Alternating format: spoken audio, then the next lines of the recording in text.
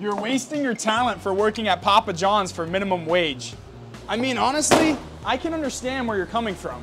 But what a lot of these comments don't realize is I've been working for Papa John's for six years now. I've been able to support myself through college, buy my first car. I've been able to do a lot of things thanks to this job. What you might say is a low skill or low paying job has actually taught me a lot.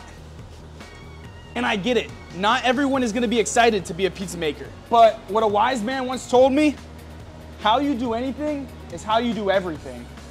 Shout out Doe Toley for this first cup of cheese and that second cup of cheese. You see, at the end of the day, it's the end of the day. And I'm thankful to be a pizza man. Now, now, now. Better ingredients, better pizza. Papa John's Italian sausage.